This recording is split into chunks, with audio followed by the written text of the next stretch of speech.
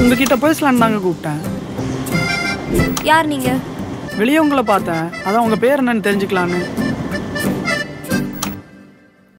Hi என் பேர் கார்த்தி. ஆமா என்ன சாங் கேக்குறீங்க?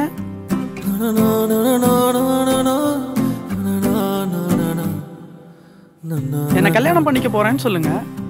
இப்போ கேட்க நல்லா தான் இருக்கு. சின்னதா ஒரு டீ குடிக்கலாமா?